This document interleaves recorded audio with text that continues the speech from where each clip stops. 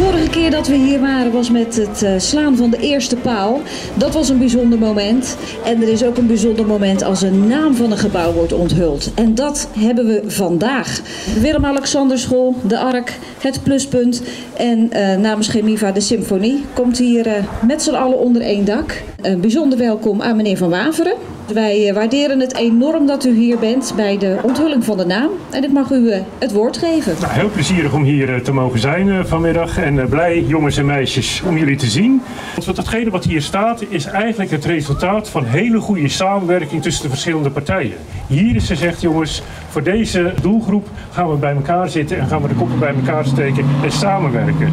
Maar dank eh, allemaal voor de bijdrage die hier aan is geleverd. En eh, een mooie stap voorwaarts hier. Er zijn kinderen die hebben een baksteen versierd. En met die baksteen gaan zij de onthulling doen van de naam van het gebouw. Nou, jullie mogen dus je helm opzetten. En je baksteen pakken, want er liggen er hier een aantal, die mag je meenemen.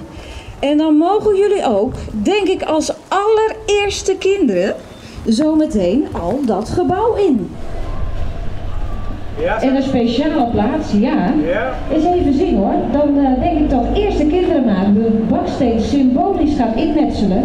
Hier in het eh, wandkastje. En dan wil ik aan eh, de wethouder vragen. Zijn we er klaar voor? Ja, oké. 5, 4, 3, 2, 1.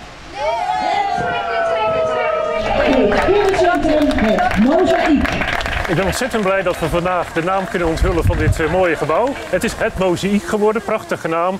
En het drukt heel goed uit dat dit gebouw tot stand is gekomen door samenwerking.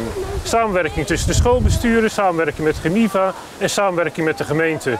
Nou, die samenwerking geeft dit resultaat. Ik eh, ben geweldig trots dat dit het wordt. En hebben jullie hier bellenbaas? Een mozaïek is een afbeelding die bestaat uit allemaal hele kleine stukjes en met elkaar vormen die stukjes die ook nog heel verschillend zijn één geheel, één afbeelding.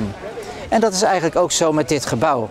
In dit gebouw zullen kinderen les gaan krijgen die hoogbegaafd zijn of juist heel veel moeite hebben met leren, die een hele rustige omgeving nodig hebben of eh, misschien zelfs gehandicapt zijn.